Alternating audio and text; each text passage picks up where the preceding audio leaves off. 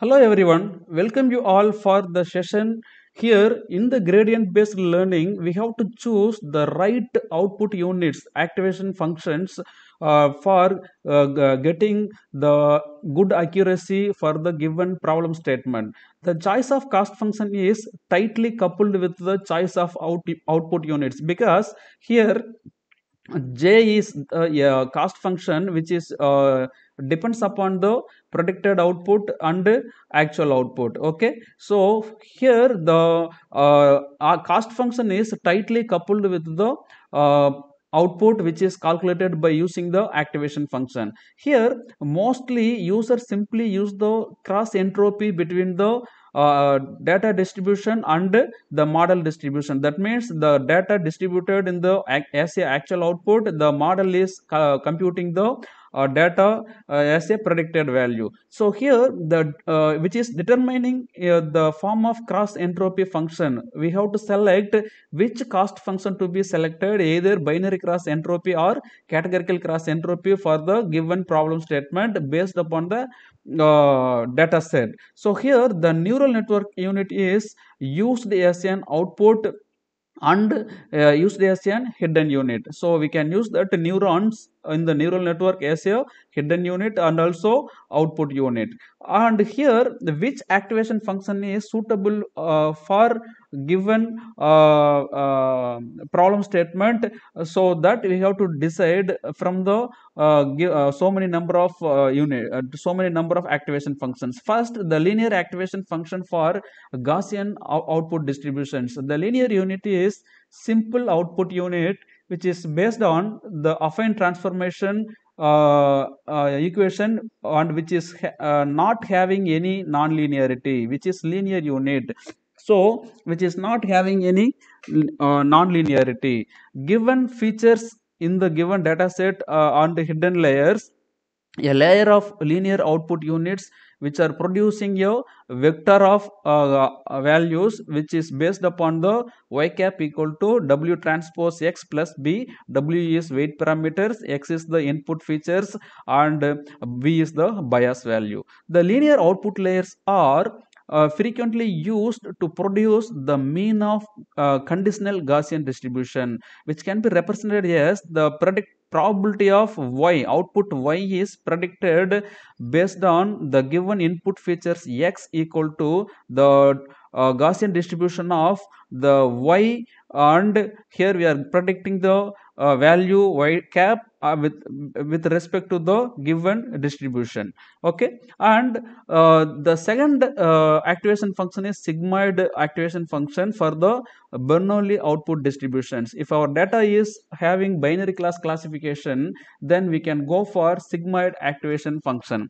Here uh, the maximum likelihood approach is uh, defining for the Bernoulli distribution over the actual outputs y which is conditioned on the given input features x. And the Bernoulli distribution is defined by just a single number. That means uh, scalar value is the output of sigmoid activation function. And the neural net needs to predict only the uh, probability of uh, y equal to the uh, 1 the class 1 with respect to given input features x. So for this scalar value uh, to be a valid probability it should be uh, lie between the interval 0 comma 1 that means the sigmoid activation function always give you the value between 0 to 1 the default threshold value we will fix 0.5 the equation is given sigmoid of z equal to 1 over 1 plus e power minus z. Z equal to w transpose x plus b.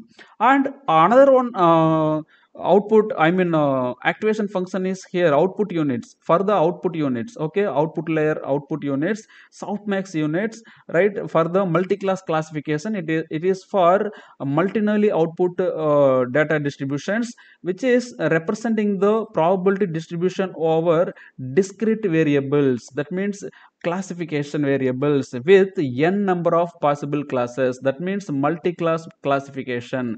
Okay it is not for the uh, only binary class classification. We can use the uh, multi-class classification which may have n number of possible classes.